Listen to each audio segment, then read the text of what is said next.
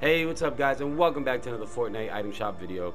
So today Fortnite has released the Hollowhead skin in preparation for uh, Halloween. So they gave us the Hollowhead skin which I think is a really good skin and along with the pickaxe, the Carver pickaxe. Uh, they also uh, re-released the Jack Gourdon skin.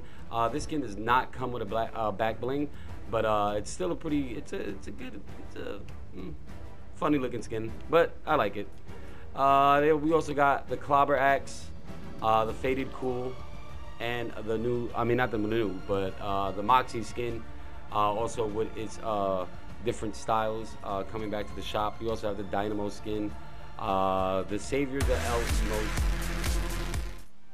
the Mothmando makes a return to the shop along with the back bling,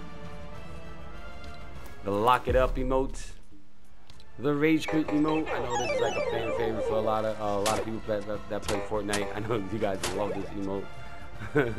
and this is a Spectral Axe. Uh, that will be today's Fortnite item shop video, guys. Make sure to like and subscribe and drop your epics in the comments below if you guys would like me to send you a friend request. And uh, subscribe to be entered into the giveaways that we do here on the channel. And I'll see you guys in the next one. Bye, guys.